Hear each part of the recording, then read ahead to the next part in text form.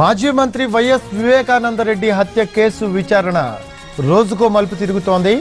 ఈ కేసులో అరెస్ట్ అయిన దేవిరెడ్డి శంకర్ రెడ్డిని కస్టడీకి కోరుతూ సిబిఐ అధికారులు పిటిషన్ దాఖలు చేశారు. ఈ పిటిషన్పై విచారణ జరిపిన పులివెందుల కోర్టు.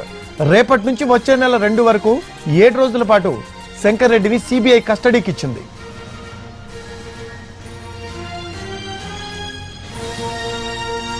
మాజీ మంత్రి వైఎస్ వివేకానందరెడ్డి హత్య కేసు విచారణ రోజుకో మలుపు తిరుగుతోంది.